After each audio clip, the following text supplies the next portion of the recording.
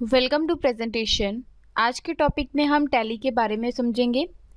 First of all, हम यहाँ पर टैली के इंट्रोडक्शन लेते हैं। जब भी सपोज़ हमारे पास कोई कंपनी है, जब भी हम किसी कंपनी का डाटा जो है, वो हम सॉर्टेड फॉर्म में रखना चाहते हैं मीज़ उसे मैनेज करके रखना चाहते हैं तो उस टाइम पर हम एक टैली को यूज़ करते हैं। टैली सॉफ्टवेयर है हमारे पास, हम इसे यूज़ करते हैं।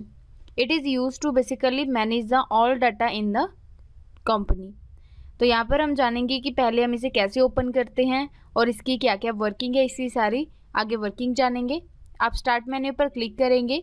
यहाँ पर आपके पास सर्च प्रोग्राम आइटम्स होगा। यहाँ पर आप टाइप करेंगे टैली यहाँ पर हमने सिंपली टैली टाइप किया। तो आप देखेंगे Tally E R P nine का यहाँ पर एक इस तरह से आइकन आ रहा है। हम इस पर डबल क्लिक करेंगे। तो आप देखेंगे कि Tally E R P nine की विंडो है जो है वो आपके पास डिस्प्ले हो रही है। ये थोड़ा सा ओपन होने में टाइम ले सकता है। आप देखेंगे आपके पास स्टार्टअप विंडो है जो आ चुकी है। यहाँ पर हम क्या करते हैं?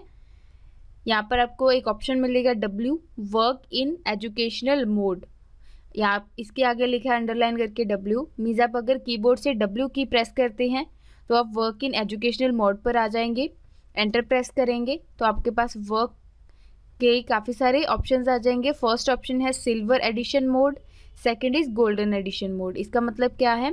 कि जब हम सिल्वर एडिशन मोड यूज़ करेंगे तो हम सिंगल यूज़र यूज़ कर सकते हैं। सेकेंड हमारे पास है गोल्ड एडिशन इसका मतलब क्या है कि जब हमें मल्टी यूज़र के लिए वर्क करना होता है। फ़िलहाल हम यहाँ पर सिंगल यूज़र को सिलेक्ट करके एंटर प्रेस करते हैं।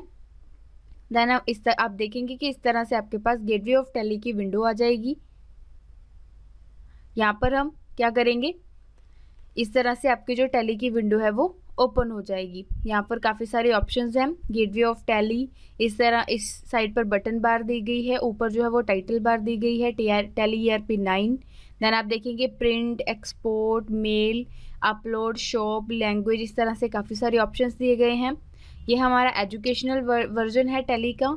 नीचे देखो, आप आप देखेंगे product version licence configuration calculator इस तरह से आपके पास जो स्क्रीन है, वो गेटवे ऑफ़ टैली की दी गई है। आप देखेंगे यहाँ पर है लिस्ट ऑफ़ सिलेक्टेड कंपनीज़।